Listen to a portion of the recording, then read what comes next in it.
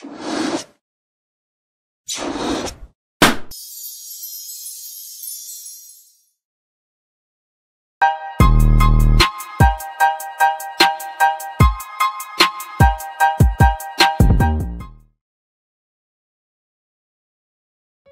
കൂട്ടുകാരെ.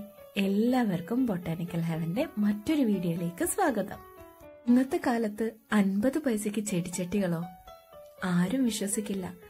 ഞാനും വിശ്വസിച്ചില്ല. നിങ്ങൾ ആ അക്വരത്തിനുള്ളിലേക്കൊന്ന് സൂക്ഷിച്ചു നോക്കിയേ. അതിനകത്തിരിക്കുന്ന ചെടിച്ചട്ടി കണ്ടോ? ഞാൻ അൻപത് പൈസയ്ക്ക് വാങ്ങിയ ചെടിച്ചട്ടികളാണ്. മണ്ണുത്തിന്നാണ് ഞാൻ ഈ ചെടിച്ചട്ടികൾ വാങ്ങിയത്. ഹോൾസെയിൽ ആയിട്ട് നമ്മൾ വാങ്ങുമ്പോൾ ഈ ചെടിച്ചട്ടികൾ നമുക്ക് അൻപത് പൈസയ്ക്ക് ലഭ്യമാണ്.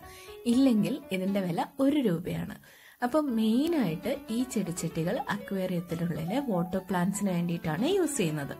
അപ്പം ഞാൻ കുറച്ച് വാട്ടർ പ്ലാന്റ്സും വാങ്ങിയിട്ടുണ്ടായിരുന്നു. അതെങ്ങനെയാണ് ഈ ചെടിച്ചട്ടികളിലേക്ക് മാറ്റുന്നതെന്നും എങ്ങനെയാണ് അക്വേറിയത്തിനുള്ളിലേക്ക് അത് വെക്കേണ്ടതെന്നുമാണ് ഞാൻ നിങ്ങളുമായി ഈ വീഡിയോയിൽ ഷെയർ ചെയ്യാൻ ആഗ്രഹിക്കുന്നത്. ഞാൻ വാങ്ങിയ ചെടിച്ചട്ടികളൊക്കെ ഞാനിവിടെ എടുത്തു വെച്ചിട്ടുണ്ട്.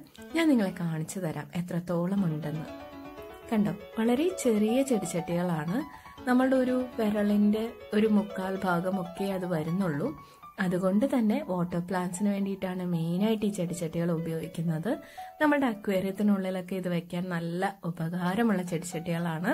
ഞാൻ ഈ ചെടിച്ചട്ടികൾക്കുള്ളിൽ വാട്ടർ പ്ലാന്റ്സ് വയ്ക്കുന്നതിന് മുമ്പ് വാട്ടർ പ്ലാന്റ്സിനെ ഒരു മെറ്റീരിയൽ ഉപയോഗിച്ച് കവർ ചെയ്തിട്ടാണ് ഞാൻ ആ വാട്ടർ പ്ലാന്റ്സ് ഈ ചെടിച്ചട്ടികൾക്കുള്ളിൽ വെക്കുന്നത്.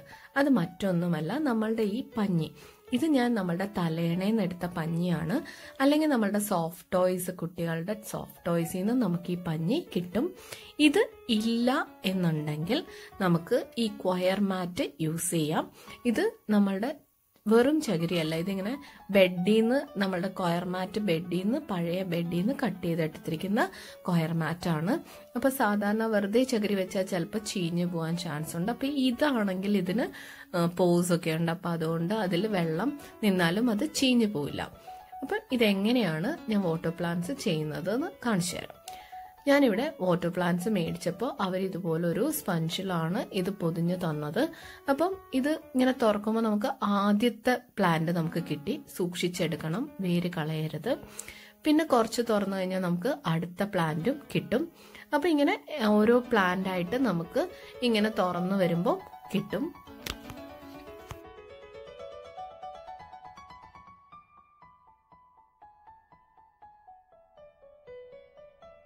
അപ്പം ഞാൻ അതിൽ നിന്ന് രണ്ട് ചെടി എടുത്തിട്ടുണ്ട്. ഇനി നമുക്കിത് നമ്മളുടെ ചെടിച്ചട്ടിയിൽ നട്ടു കൊടുക്കാം. അപ്പം അതിനായിട്ട് ഞാൻ നമ്മുടെ ചെടിച്ചട്ടിക്കകത്ത് ആദ്യം കുറച്ച് കല്ലിട്ട് കൊടുക്കുന്നുണ്ട്. നമ്മൾ വെള്ളത്തിലാണ് വെക്കുന്നത്. അപ്പം അത് ഇരിക്കാൻ വേണ്ടിയിട്ടാണ് കല്ലിട്ട് കൊടുക്കുന്നത്. പിന്നെ ഞാൻ ആ പഞ്ഞി എടുത്തിട്ട് ഞാൻ ആ ഒരു തണ്ട് നമുക്ക് കിട്ടിയ ഒരു ചെടി ഉണ്ടല്ലോ ആ ചെടി ആ പഞ്ഞിയിലേക്ക് വെച്ച് അതൊന്ന് കവർ ചെയ്ത് കൊടുക്കും. അതിനുശേഷം നമുക്ക് അടുത്ത ചെടിയും ഇതുപോലെ തന്നെ കവർ ചെയ്ത് കൊടുക്കാം. എന്നിട്ട് അത് നമുക്ക് നന്നായിട്ട് പ്രസ് ചെയ്തിട്ട് ആ ചെടിച്ചട്ടിക്കുള്ളിൽ വെച്ചാൽ മതി. അങ്ങനെ നമുക്ക് എല്ലാ ചെടിച്ചട്ടികളും ചെയ്യാം.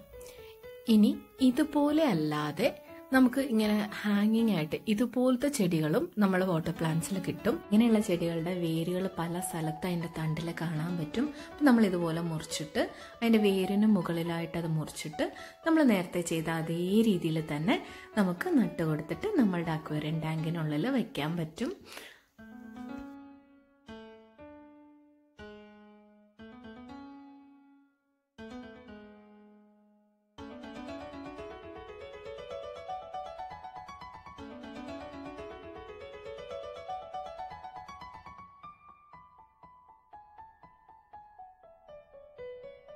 ഞാൻ എന്റെ ചെടികളെല്ലാം ഇപ്പം ഏകദേശം നട്ട് കഴിഞ്ഞിട്ടുണ്ട്. ഇനി ഞാൻ എന്റെ ഈ ചെടിച്ചട്ടികളെല്ലാം കൂടി കൊണ്ടുപോയിട്ട് അക്വരത്തിൽ വയ്ക്കാൻ പോവാണ്. അതാ എന്റെ ചെടിച്ചട്ടികളെല്ലാം ഞാൻ അക്വരത്തിൽ വെച്ചിട്ടുണ്ട്. അപ്പോൾ നിങ്ങൾക്ക് എല്ലാവർക്കും ഈ വീഡിയോ ഇഷ്ടമായിട്ടുണ്ടാവുമെന്ന് വിചാരിക്കുന്നു. നിങ്ങൾക്ക് ഈ വീഡിയോ ഇഷ്ടമായിട്ടുണ്ടെങ്കിൽ നിങ്ങളുടെ കമന്റുകൾ ഞങ്ങളുടെ കമന്റ് ബോക്സിൽ അറിയിക്കാൻ മറക്കരുത്. അതുപോലെ തന്നെ നിങ്ങൾ ഞങ്ങളുടെ ചാനൽ ആദ്യമായി കാണുന്നവരാണെങ്കിലും ഇതുവരെ സബ്സ്ക്രൈബ് ചെയ്യാത്തവരാണെങ്കിലും ദയവായി സബ്സ്ക്രൈബ് ചെയ്യുക ലൈക്ക് ചെയ്യുക നിങ്ങളുടെ ഫ്രണ്ട്സുമായി ഷെയർ ചെയ്യുക. Bye bye.